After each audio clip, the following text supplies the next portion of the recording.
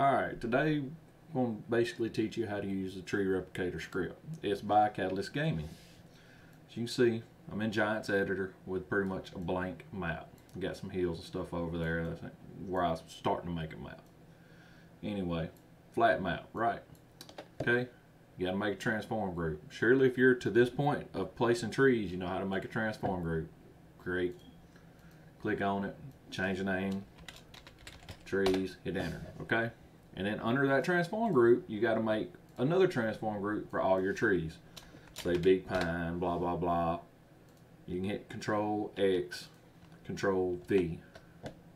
Get everything in that group. Okay, once you import your trees, you'll put each tree in there and I'll show you how I have mine. This is mine right here. Notice I got darkwood medium, pine medium, poplar small, pine large. In each one, I got my tree. Okay. Now, I'm going to click on one, Control B to interactive place it. Okay. Click on another one, Control B, interactive place it. Okay, click on another one, Control B, interactive placement. Alright. Now go down here to my last one, Control B, interactive placement. Okay. That's all my trees right there.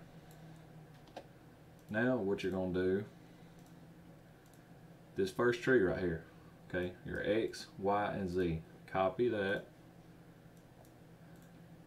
Paste it there. Go to this one. Copy. Paste. Go to this one. Copy. Paste. Okay.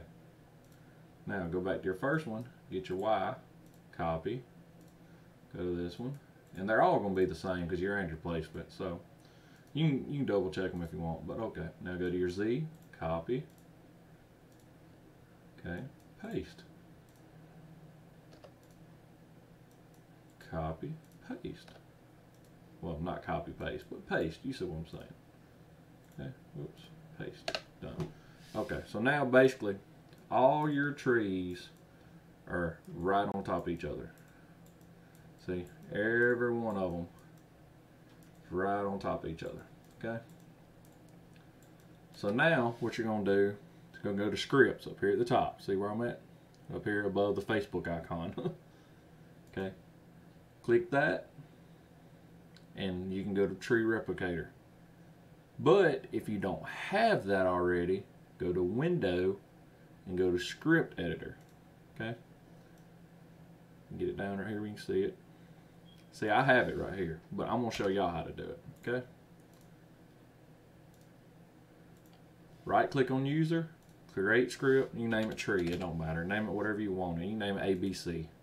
Okay, you see all that in it, just delete that. You're going to pull up the script, which you got off Catalyzer Gaming's Discord, select all, copy. Go back in here, paste it, hit save, okay? Notice it changed your name. Okay? Now, what you're going to do, see, top level transform name, which is my top level transform trees. Okay, allow trees and water. Everything's pretty much self-explanatory, and everything below here you do not edit. Okay, so what you're going to do is you're going to click this one, this one, this one, and this one, which is your four trees. Hold control to click each one, select them all. And let's see right here. That looks pretty much correct. This will override by the wide water tree level. Water level, this is your lowest level already. The radius distance to put trees, this selector will act as a center. Okay, you can put this as a number where it pretty much selects your area. Don't ask me how to figure it out because I can't. You just got to select the area, then go back and delete the ones you want. Just say 100, okay? Tree distance, that's how far apart this tree should be placed for street paint, blah, blah. Okay, now hit execute. You modified code you'd like to save your changes, of course. Bam. Now close that. You hit close right there. And there's your trees.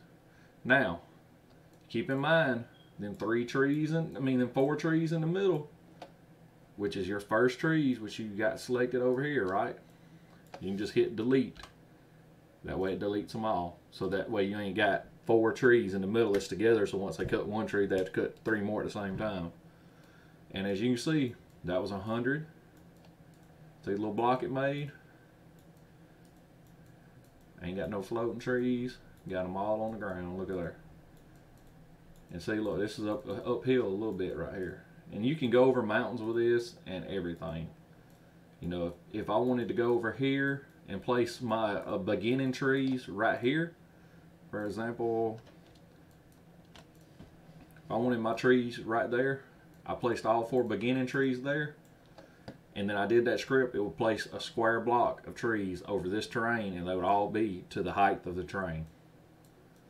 So that's pretty much it.